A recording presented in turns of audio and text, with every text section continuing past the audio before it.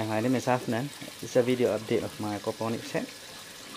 And as you can see from this video, there was um, a shade that I just removed because it's not that hot now.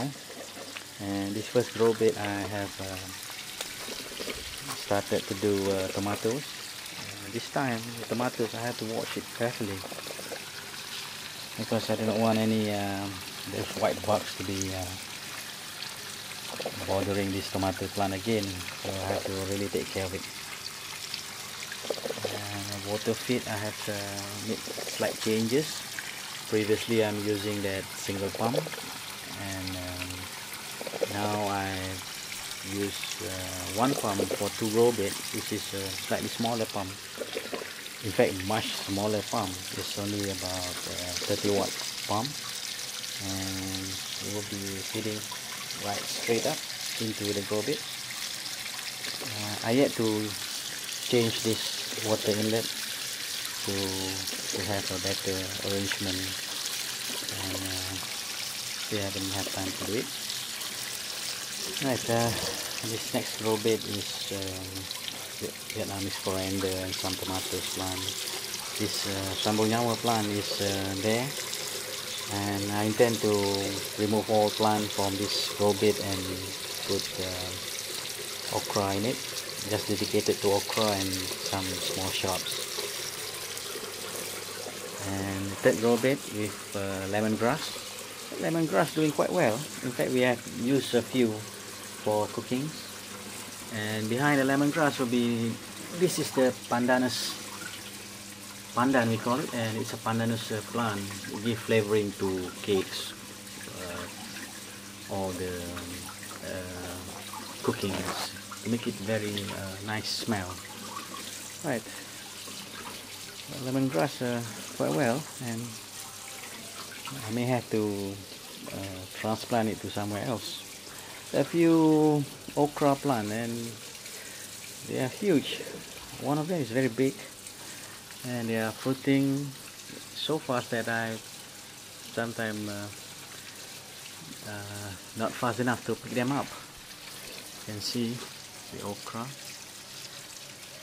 And uh, there's one of the biggest one.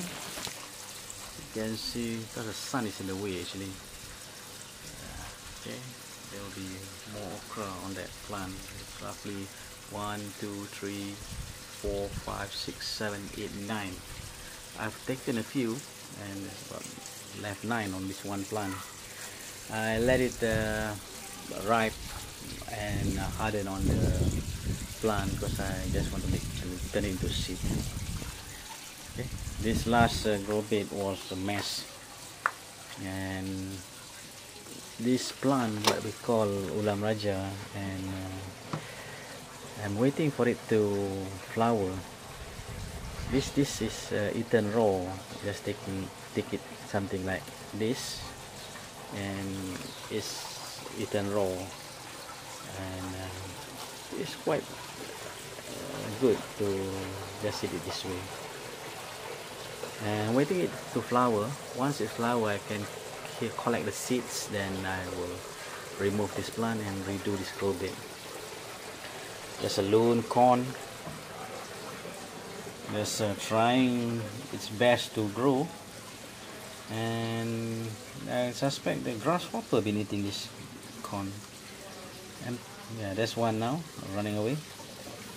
And uh, I'm, I'm, trying my best to keep this uh, corn survive or because I just want to test it out whether we can do uh, corn. I've seen uh, some photograph from Australia that they have done corns on aquaponics, so I have to try it myself.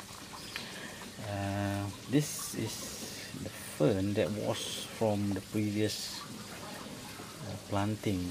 I've removed all of them and probably some roots remain and they start to grow. They are quite, they are easily grown so not a big problem water to this grow bed I stopped for a while because I'm doing this recording and uh, everything is holding fine and grow bed is matured.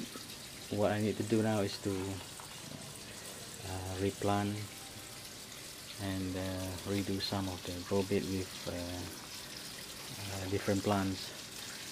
Uh, you can see from my earlier posting in my blog that I'm looking for raspberry. And actually raspberry is doable here.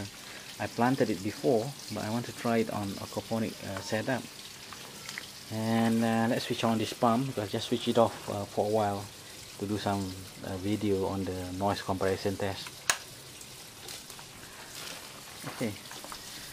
Water outlet from grow bed I've modified to have this uh, the one with a lot of these perforated holes or a lot of holes that uh, reduce the noise. You can have a, a solid straight hollow down tube but then I prefer to have uh, a lot of holes in it so that I can see the water is flowing, the siphon is working and also it gives a lot of aeration to the water. As you can see now it's aerating the water. It's very important because I have so many tilapias in here I can't afford to have it not uh, aerating the water properly.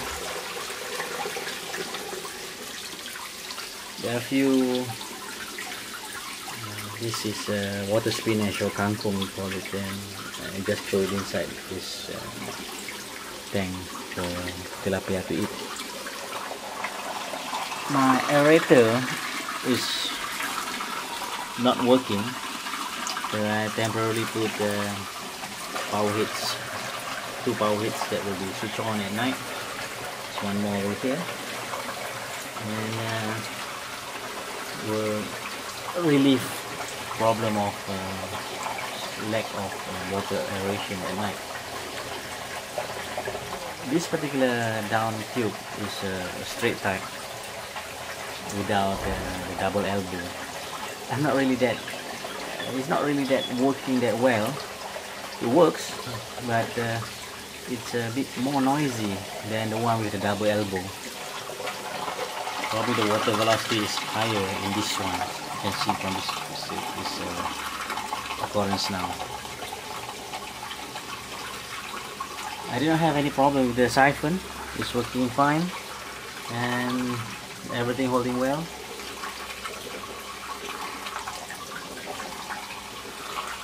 A few days ago I harvested about 10 tilapia. There's plenty more where it come from.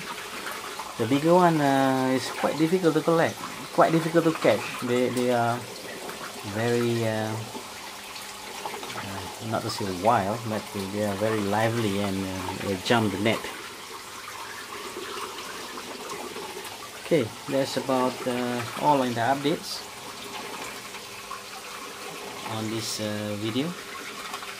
And hope I can make uh, more video when there's something new or there's something to talk about. Right. Thank you very much. Bye